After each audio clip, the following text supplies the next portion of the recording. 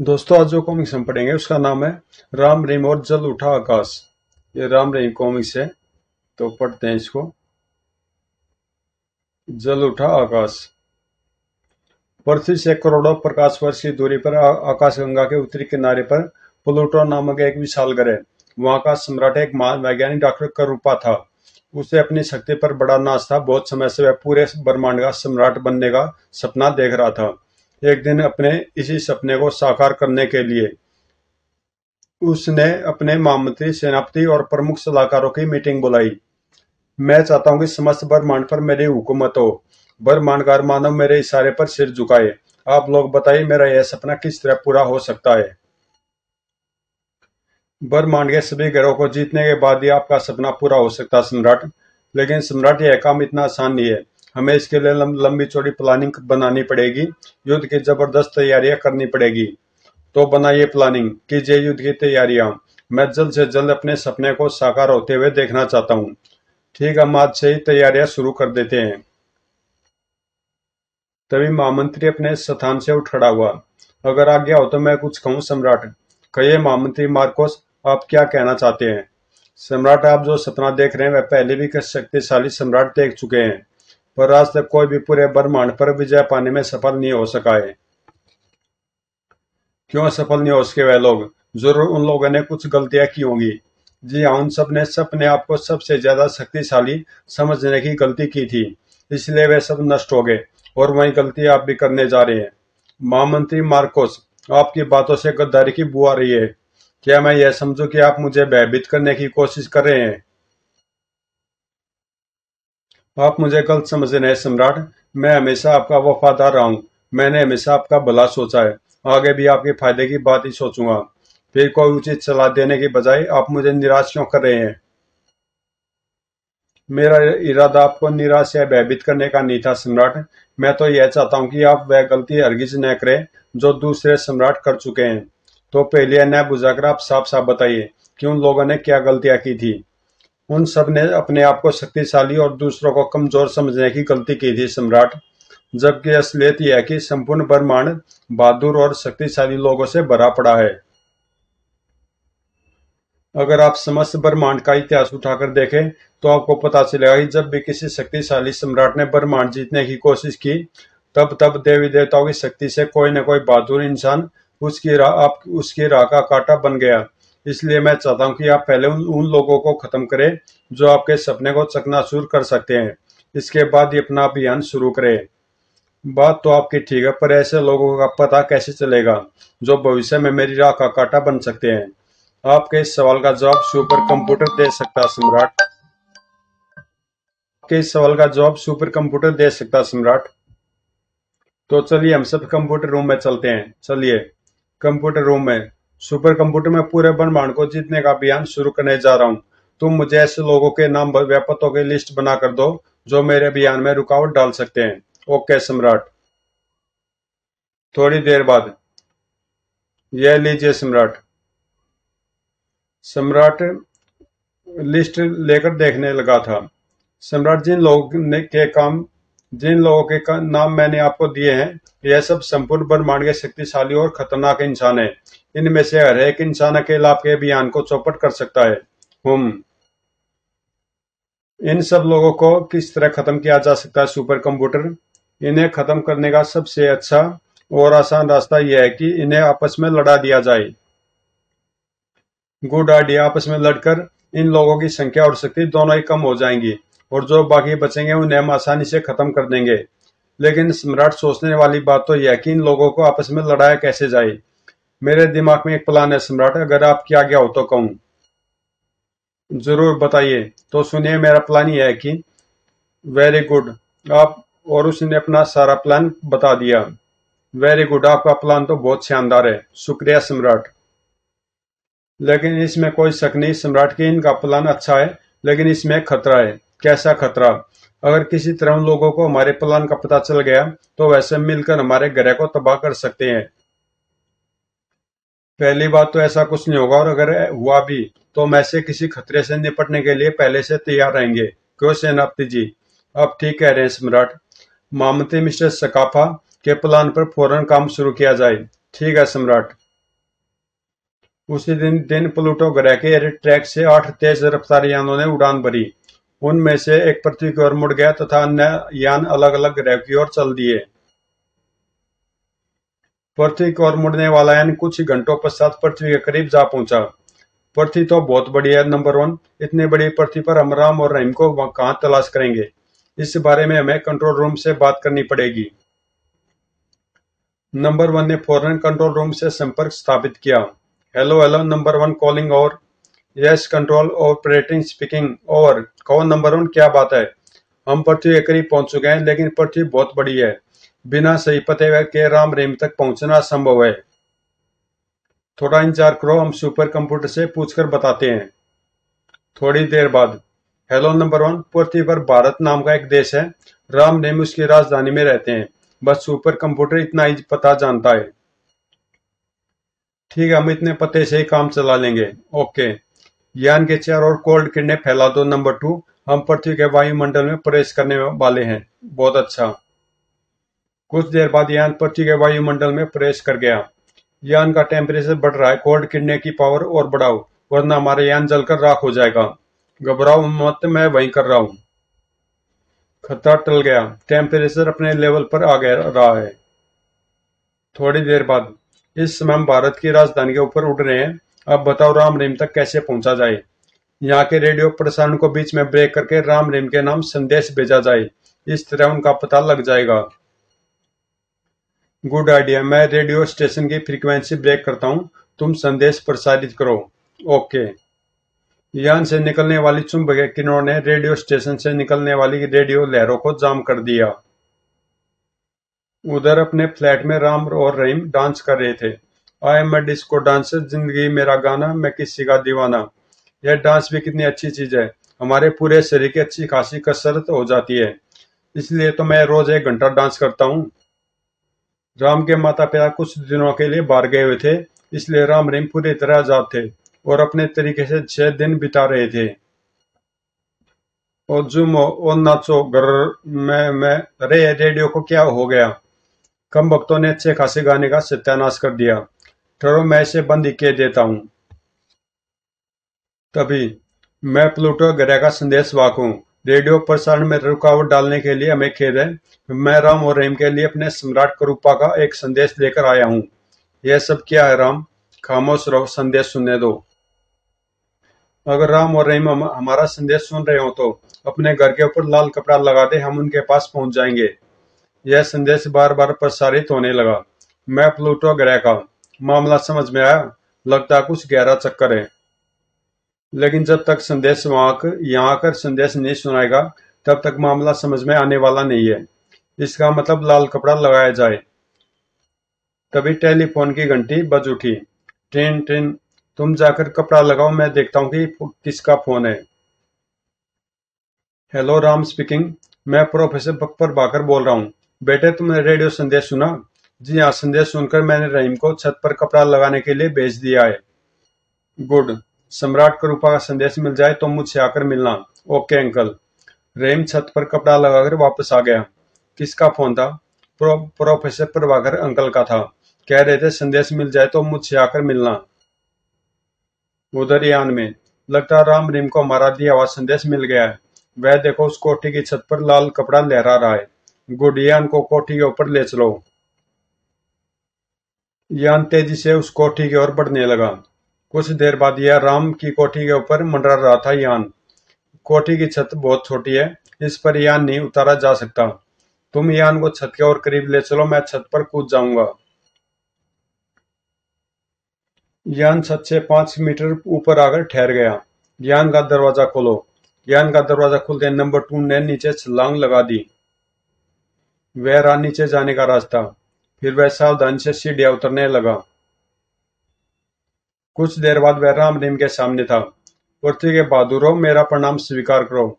और तुम ही प्लूटो वासी हाँ कहो, तुम्हारे सम्राट ने हमारे लिए क्या संदेश भेजा है? संदेश इस स्वर्ण पत्र में लिखा है। आप खुद पढ़ लें। राम स्वर्ण पत्र लेकर पढ़ने लगा। मैं बहुत बीमार हूँ, मेरी मौत का कोई ठिकाना नहीं है। मैं मरने से पहले किसी बहादुर बुद्धिमान इंसान को प्लूटो ग्रह का सम्राट बना देना चाहता हूँ। इसके लिए मैंने एक मुकाबले का आयोजन किया है। मुकाबले में जो जीतेगा, उसी को मैं अपना ताज सौंपूँगा। मुकाबला ठीक दस दिन बाद शुरू होगा। उम्मीद है तुम दोनों मुकाबले में ज़रूर आओगे। सम्राट करूपा। बहुत खूब।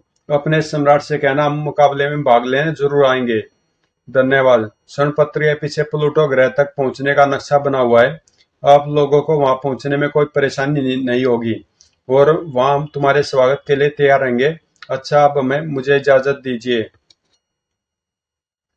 नंबर टू, राम रिम से विदा लेकर वापस छत पर पहुँचा तो यान से किरणों की एक सीढ़ी उस तक पहुँच गई।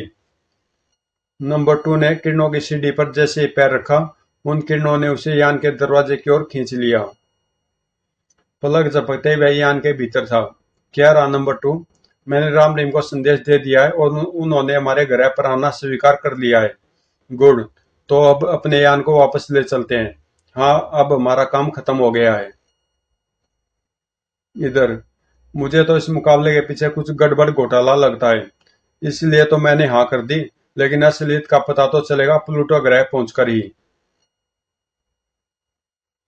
चलो, प्रोफेसर अंकल के पास चला जाए। ठीक है, चलो। कुछ देर बाद उनकी मोटरसाइकिल प्रोफेसर पर प्रभाकर की प्रयोगशाला की ओर उड़े चली जा रही थी। राम भैया अगर प्रोफेसर अंकल ने प्लूटो ग्रह जाने के लिए हमें अपना यान न दिया तो क्या होगा? उन्होंने हमेशा हम लोग, लोगों की सहायता की है। इस बार भी ज़रूर करेंगे। और मान लो उन्होंने यान देने से इनकार कर भी दिया तो हम कोई और रास्ता सोचेंगे।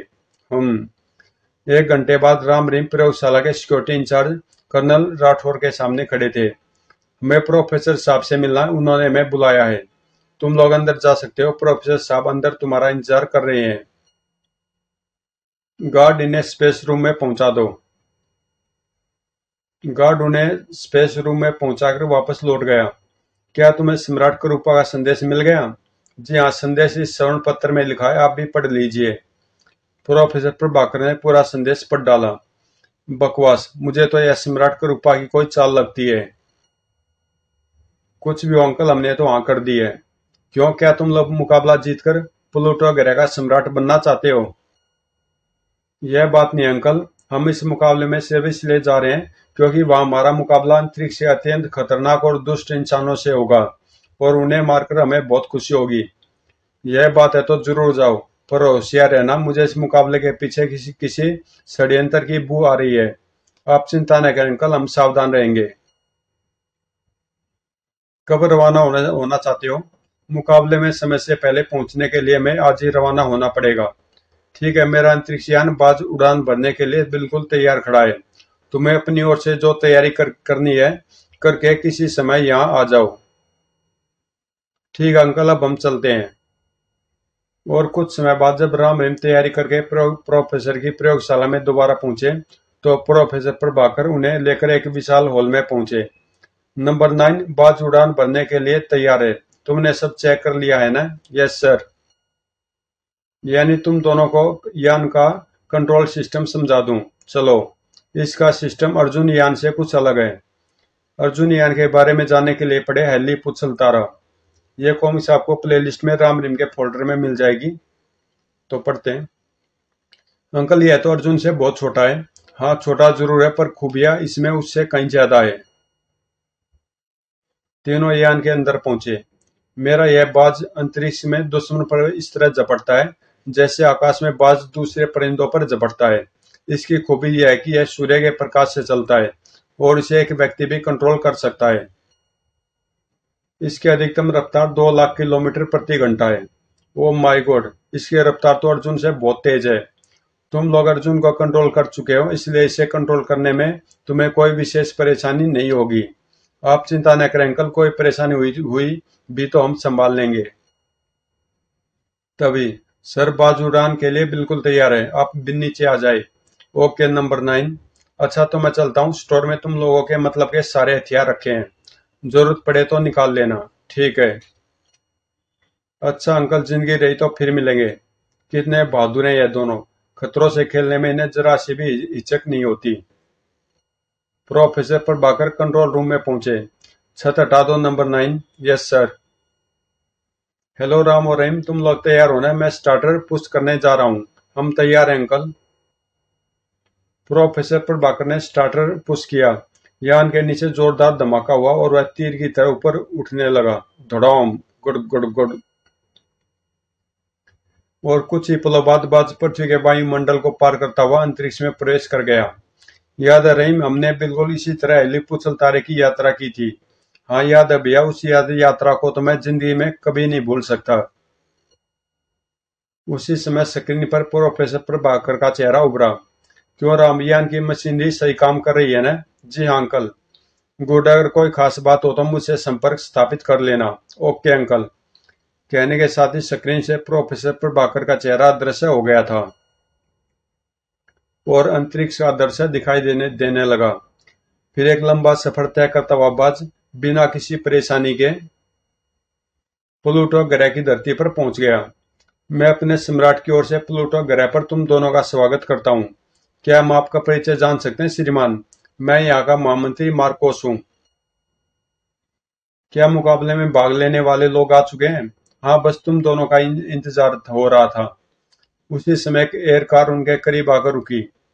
कार में बैठो हम यहाँ से सीधे उस जगह चलेंगे जहाँ मुकाबला होना है, यानी कि सीधे मैदान के जंग में। हाँ। उन लोगों के बैठते ही वह कार हेलीकॉप्टर की तरह उठी और एक और चल दी। वाह, आपका ग्रह तो बहुत सुंदर है। हाँ चाहो तो मुकाबला जीतकर तुम दोनों इस ग्रह के सम्राट बन सकते हो। एक घंटे बाद कार एक विशाल मैदान में जाकर उतरी। तो यह वह छोकरे जो पृथ्वी से हमारा मुकाबला करने आए हैं। इनके तो भी दूध के दांत भी नहीं टूटे होंगे। ये वे लोग कौन है?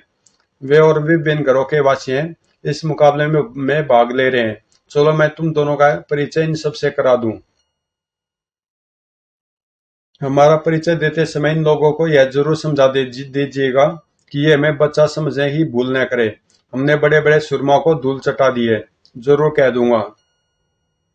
मुकाबले में भाग ले रहे बहादुरों, मैं जानता हूँ कि मुकाबला शुरू होने से पहले तुम लोग एक दूसरे को अच्छी तरह जान लो।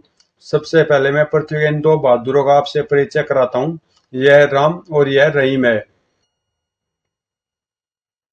इनसे मुकाबला करते समय इन्हें बच्चा समझकर इनकी ताकत को कम समझने की भूल मत करना। इनकी ताकत का अंदाज़ा तुम लोग इसी बात से लगा सकते हो कि तुम्हें इस मुकाबले में खास, कि इन्हें इस मुकाबले में खास तौर पर बुलाया गया है। हमारा सुपर कंप्यूटर इन्हें प्लूटो ग्रह की राजगद्दी का सबसे बड़ा दावेदार मान रहा है। तो फिर इन्हें छोकरा कहना मेरी भूल थी। इसका मतलब हमसे, इनसे काफ़ी होशियार रहना पड़ेगा। राजगद्दी के दूसरे दावेदार है डॉक्टर बसाको, यह एक मानतम वैज्ञानिक है। अपनी वैज्ञानिक शक्ति के बल पर यह चार ग्रहों के सम्राट हैं। दोस्तों, मैं यहाँ पूरी तैयारी से आया हूँ। आप लोग मुझे यहाँ का सम्राट बनने से रोक नहीं पाएँगे।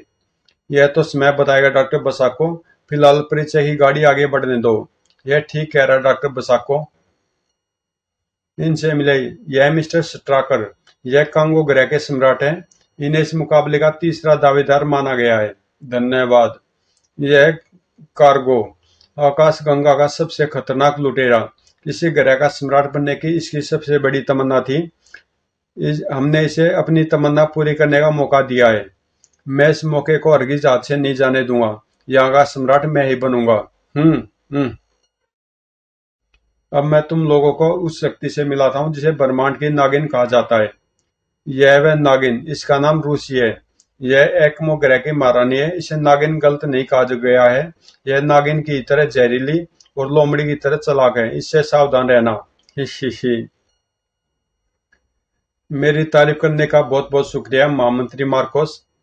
इनसे मिलो यह है मिस्टर गम्बोली एक वर्ष पहले यह माइडो ग्रह के सेनापति थे, पर अब अपनी शक्ति के बल पर वहाँ के सम्राट बन गए हैं। यह है हॉर्स, बेजान ग्रह का बागी सेनापति। एक आवारा ग्रह पर यह लगातार अपनी शक्ति बढ़ाता जा रहा है। और यह इस मुकाबले का अंतिम दावेदार, यह एक पैसेवर हत्यारा है। इसका नाम है पाउलो। अब तक 300 से अधिक हत्याएँ कर चुका है। परिचय तो हो गया अब सुनो, हमारे सुपर कंप्यूटर के मुकाबले का जो ड्रॉ निकला है, उसके अनुसार राम का मुकाबला कार्गो से है। डॉक्टर बसाको का गंबोली से, स्ट्राकर का रूसी से और हॉर्स का पाउलो से मुकाबला होगा। इस मुकाबले में हर व्यक्ति अपने साथ दो सहायक रख सकता है। सहायकों के अलावा कोई किसी की सहायता नहीं करेगा। मुकाबले में जीत उसी समय मानी जाएगी जब सामने वाला प्रतिद्वंदी मर जाएगा। और मुकाबला तब तक जारी रहेगा जब तक कि राजगद्दी का दावेदार नहीं चुन लिया जाता। अब मुकाबला शुरू किया जाए। एक मिनट रुके महामंत्री मार्कोस इतनी जल्दी भी क्या है मुकाबला शुरू करने से पहले हम सम्राट करूपा से मिलना चाहते हैं। सम्राट की हालत ऐसी नहीं है कि वह तुम लोगों से मुलाकात कर सके। दोस्तों हमारा मेजबान बीमार है। हमें एक बार चलकर उसका हालचाल ज़रूर पूछना चाहिए। कि आप लोगों की, की क्या राय है? तुम ठीक कह रहे हो, हमें सम्राट करूपा से ज़रूर मिलना चाहिए। हाँ ज़रूर मिलना चाहिए। हाँ मेरी राय भी यही है। ठीक है, मैं सम्राट से डॉक्टर के डॉक्टर से बात करता हूँ। अगर उन्होंने इजाज़त दे दी तो तुम लोगों की मुलाकात सम्राट से करा दी जाएगी, वरना फिर मजबूरी है। महामंत्री मार्कोस ने सुपर कार में पहुंचकर सम्राट करूपा से संपर्क स्थापित किया। सम्राट मुकाबले में भाग लेने वाले सुरमा एक बार आपसे मिलने की जिद कर रहे हैं। तुम किस मर्ज की दबाव मार्कोस? सुनो, किसी तरह उन लोगों को मैं पूरी कोशिश कर चुका हूँ सम्राट, लेकिन वह लोग जिद पर अड़े हुए हैं और मेरा बार बार इनकार करना उन लोगों को शक में डाल सकता है। ठीक है तो ले आओ उन्हें मेरे पास, जो आ गया महामंत्री पुनः राम रहीम आदियों के पास पहुँचा। मुझे प्रसन्नता, दोस्तों की डॉक्टर ने सम्राट से मिलने की इजाज़त दे दी है। आधे घंटे बाद वह लोग सम्राट करूपा के सामने थे। दोस्तों, सम्राट की हालत ऐसी नहीं है कि यह ज़्यादा बोल सके। इसलिए मेरी आप लोगों से गुजारिश है कि इन्हें ज़्यादा बोलने पर मजबूर न करें। ऐसा ही होगा, डॉक्टर। अपने ग्रह पर मैं तुम लोगों का स्वागत करता हूँ। आप ज़्यादा न बोले, सम्राट। हम सिर्फ़ आपके दर्शन करना चाहते थे, जो कि हमने कर लिए अब हम चलते हैं। जान छुट्टी सब लोग सम्राट करूपा के सन कक्ष से बाहर आ गए। क्यों रहीम तुम्हें क्या लगता है? क्या सम्राट करूपा सचमुच बीमार है? मेरे ख्याल से तो वह बीमार होने का नाटक कर रहा था। इसका मतलब है हमारा शक सही था। वह कोई भयानक चाल चल रहा है। चिंता मत करो राम भैया, हम उसकी हर हर चाल पीटेंगे। तभी क्या बातें हो रही हैं? कि कुछ नहीं, बस जरा महल की खूबसूरती के बारे में बातें कर रहे थे। क्यों राम? जी हाँ हमने आज तक इतना सुंदर महल नहीं देखा। लगता इन्हें कुछ शक हो गया है। सब लोग पुनः मैदान में आ गए। राम भैया, मेरे हाथ पैरों में कुछ ज़्यादा ही खुजली हो रही है, इसलिए फार्मों से मुझे निपटने दो। ठीक है, फिर तुम्हें उससे निपट लो। कुछ देर बाद महामंत्री मार्कोस ने हरी झंडी दिखाकर मुकाबला शुरू करने का इशारा किया। इसी के साथ वे प्लूटो ग्रह पर पहुँचे, आठ शक्तिशाली लोग आपस में भिड़ गए। हा हा पर छोकरे, तू ज़्यादा देर तक मेरा मुकाबला नहीं कर पाएगा। कड़ो यही तो मुझे भी देखना कि अंतरिक्ष लुटेरा कितनी देर तक मेरा मुकाबला कर पाता है। मेरा नाम डॉक्टर बसाकुआ गंबोली। तुझे तो मैं कीड़े की तरह मसल कर रख दूँगा। तुझे अपनी शक्ति पर बड़ा नाज है ना? लेकिन आज मैं तेरी शक्ति को चूर चूर करके रख दूँगा। मुझे ब्रह्मांड की नागिन कहा जाता है। मेरा काटा पानी भी नहीं माँगता। और मैं नागिन का जहर उतारना अच्छी तरह से जानता हूँ। मरने के लिए तैयार हो जाओ तू मेरा तीन सौ दसवां शिकार बनने जा रहा है। फ़िलहाल तो अपनी जैन की खैर मना हत्यार है उधर, उफ, एक और झटका। मैं अकेला इससे मुकाबला नहीं कर पाऊँगा। उसने फ़ौरन अपने सहायकों को आवाज़ लगाई, हार्डी जुड़ी, मेरी सहायता करो। हा हा हा। फार्गो यह काम तुझे पहले ही कर लेना चाहिए था। अब तो तुझे कोई नहीं बचा पाएगा। तभी, घबराना मत, बहुत समा गए हैं। इन किरणों से मेरा कुछ नहीं बिगड़ने वाला। शू शू। फार्गो के सहायकों को मैदान में आते देख राम भी मैदान में कूद पड़ा। तुम दोनों कैसी की तैसी। उफ, आह। हा हा तो तू फिर अकेला रह गया फार्गो अब किसको सहायता के लिए बुलाएगा? अब अब मैं नहीं, तू सहायता के लिए पुकारेगा। धड़ाक, आह। बुला राम को आकर तेरी सहायता करे। ढुम उफ। बस बहुत हो गया, अब मेरी बारी है। ढुम आह। तो दोस्तों कॉमिक्स यहीं पे समाप्त होती है और इसका अगला पार्ट है, एक रात का सम्राट। क्या रेम फार्गो को मार सका? मुकाबला किसने जीता? प्लूटो ग्रह का सम्राट कौन बन सका? क्या सम्राट के रूपा समस्त ब्रह्मांड का सम्राट बन सका? तो इसका जवाब अगले कॉमिक्स से मिलेगा? एक रात का सम्राट में। तो मिलते हैं इस कॉमिक्स में।